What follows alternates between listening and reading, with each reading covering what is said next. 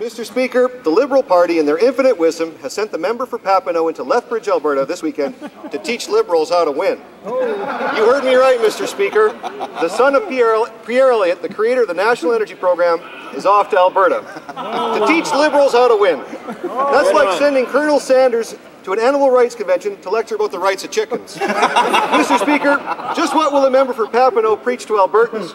Will he tell us more about the Liberals' plan for a culture war? No. Will he promote the Liberal support for the long gun registry? Is he going to preach the virtues of the Liberal carbon tax? And will he tell Albertans about the Liberals shutting the door forever to unilingual Canadians from serving their country on the Supreme Court?